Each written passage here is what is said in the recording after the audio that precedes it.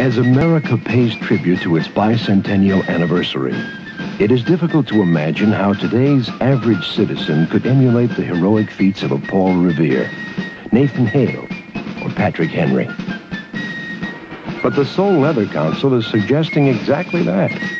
A great American feat that can collectively help solve one of our country's most critical problems. It's called walking.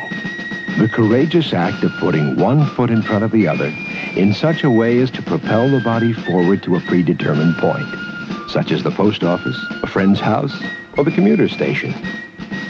If every American substituted his feet for his automobile for one mile of travel on a given day, we would collectively save 5 million gallons of gasoline that day. If that happened every day, we would reduce our gasoline usage by almost 2 billion gallons a year, not to mention our waistlines.